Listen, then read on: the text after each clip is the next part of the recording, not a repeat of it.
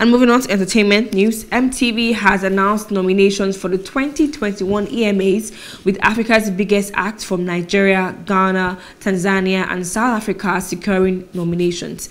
Nigerian superstars Wizkid and songstress Tems, who both collaborated on the global hit Essence, were each nominated in the Best African Act category, alongside um, South African Ke Star hitmaker vocalist as Amapiano's global recognition continues to grow.